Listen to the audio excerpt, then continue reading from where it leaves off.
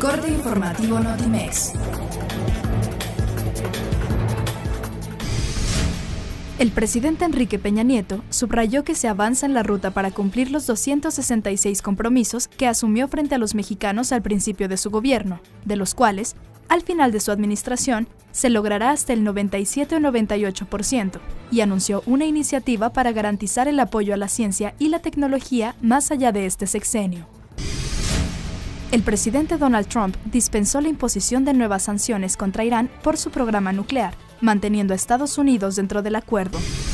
Los libros de texto gratuito que se entregarán el próximo ciclo escolar son herramientas fundamentales para garantizar que el modelo educativo llegue a todas las aulas y sea la base de una educación de calidad, bajo principios pedagógicos que permitan a los alumnos aprender a aprender, aseveró el secretario de Educación Pública, Otto Granados Roldán.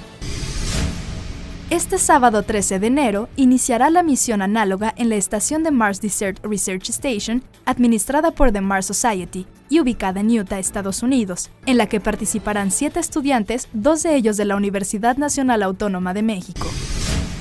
Pese a que admitió que es un elemento interesante y cualquier club quisiera contar con él, Miguel Herrera, técnico del América, descartó que hayan buscado al delantero mexicano de West Ham United, Javier Chicharito Hernández. Un Viva José José fue grabado por el elenco de su bioserie para darle ánimo al cantante que atraviesa por problemas de salud.